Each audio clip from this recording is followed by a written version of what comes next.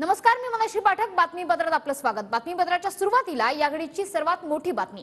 पंतप्रधान मोदींची शरद पवार आणि ठाकरेंना एनडीए मध्ये येण्याची ऑफर दिली गेली आहे. शिंदे आणि अजितदादांसोबत या तुमची सर्व स्वप्न पूर्ण होतील असं सुद्धा मोदींनी म्हटलंय. नंदुरबारमध्ये जाहीर सभेत मोदींनी पवार आणि ठाकरेंना ही ऑफर केली आहे. तर तीन टप्प्यातील मतदानानंतर मोदी अस्वस्थ आहेत म्हणूनच अशी विधानं करतायत असं शरद पवारांनी म्हटलंय.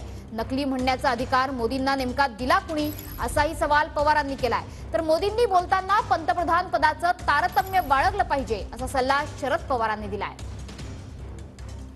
छोटे छोटे राजनीतिक दलों को कांग्रेस में मर्ज हो जाना चाहिए। इसका मतलब ये जो नकली एनसीपी है और ये नकली शिवसेना है, उन्होंने कांग्रेस में मर्जर करने का मन बना लिया है। अब आपको मैं बताता हूँ, जब 4 जून के बाद कांग्रेस में जाकर के मरने के बजाय, अरे सीना तान करके हमारे अजित दादा के साथ और सिंधे जी के साथ आओ, बड़े शान से सपने पूरे हो जाएँगे। निवडणुकीचे एक दोन तीन चार टप्पे झाले. त्याच्यामध्ये एकंदर चित्र दिसते मतदारांचं त्यांची एकंदर स्थिती दिसते निर्णय घेतलेले दिसतात. त्याच्याहून मोदी साहेबांचा जो विचार त्या विचाराच्या विरुद्ध जनमत व्यक्त होण्याचं प्रक्रिया सुरू झालेली आहे. आणि त्यावेळी ते अस्वस्थ आहेत. त्यांना ही विश्वास नाही त्यांची आहे ही त्यांची अस्वस्थता. ही अशी विधानं हे सांगतात. किंवा कन्फ्युजन तयार करण्याची भूमिका सांगतात.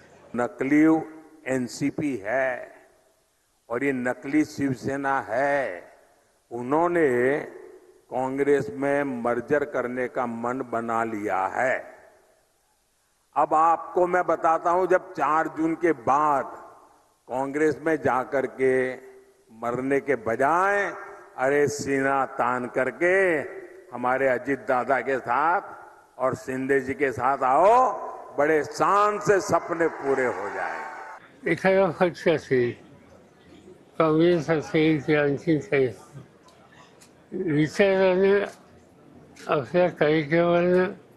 ते लोकांच्या असतील लोकांच्या मांडत असतील लोकांच्या लक्ष केंद्रित करत असतील त्याला हे नकली किंवा आणखी म्हणण्याचा अधिकार कुणी यांना देईल?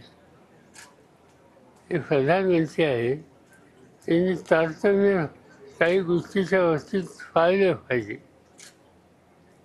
आणि या नकली वगैरे म्हणणं हे अयोग्य आहे. अशोभनीय आहे.